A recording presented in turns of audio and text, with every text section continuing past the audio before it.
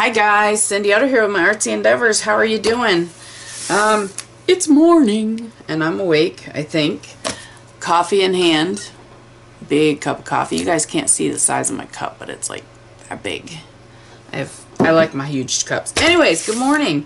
Um, what I have in front of me here is a cardboard book that um, a few years ago, Carolyn Dubé, um, I believe it was in her she had a course called Permission to Play.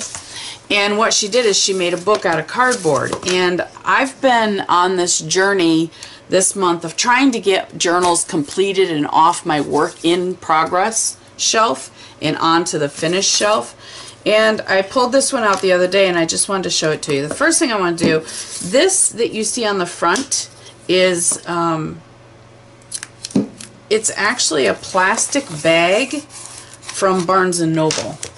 Um, I had went there and picked up a book, or two or three, you never know, and I just loved the image on this plastic bag, so I kept it, and I just kind of glued it onto this this cardboard book, and I just, I love it.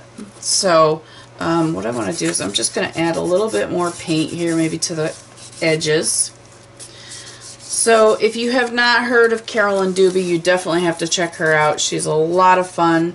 Um, she just enjoys playing in color. She enjoys playing in paint and just having fun with the process. And I think that's what all of this is about. So definitely check her out. I'm just adding some color. Like I said, I just wanted something different. So we're just going to put some more blue on here. It doesn't all have to be perfect. It's not what this is about. So this little book, it's got one, two, three, four, well, the cover and then three pieces of cardboard on the inside of it. And in just a second, I will show you the pages. Because I already did the pages. These were ones just to sit and play. So I will show you those, but I just wanted to throw on a little bit of extra paint here. Alright, done. Let me dry it up real quick. I'll be right back. Okay, so it's pretty well dry. Um, this is just an old piece of some type of a fabric that I've I've sprayed dyes on, and then I just threw on these four beads. They're just they can move up and down.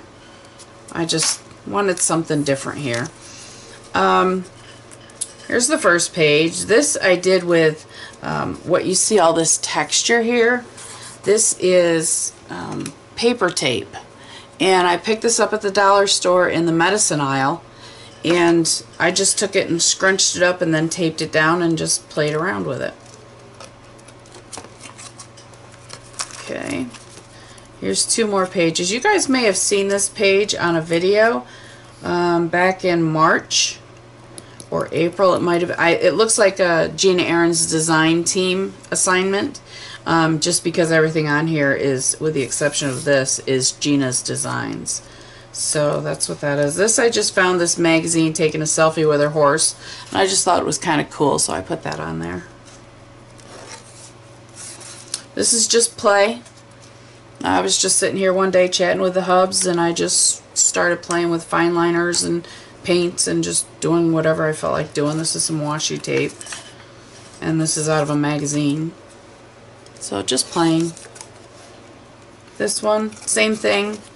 Sat here one day just playing around again with fine liners. Found this girl in a magazine and it says, what's the quirkiest thing about you? I just thought that was cool. And that's it. Sweet, simple, short, to the point. Um, like I said, check out Carolyn Dubé's channel. Uh, I will, if I remember, I will link it in the description box below. If I don't, um, and you would like to see her stuff, just shoot me a comment and I will make sure I get the link to you. So I hope you guys enjoyed. Just short, sweet, simple. Um, as always, have fun. That's what life's all about. Happy creating, and we'll talk to you soon. Bye.